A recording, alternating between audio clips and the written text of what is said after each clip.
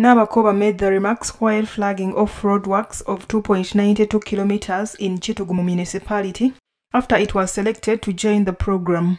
She said that Chitugumu municipality received 13.59 billion Ugandan shillings and is expected to receive another 9.23 billion shillings for the financial year 2021-2022.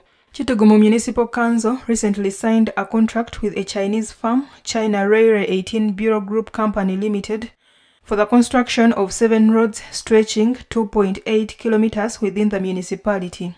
The first phase of the road construction work is funded by the World Bank through Uganda support to municipal infrastructure development.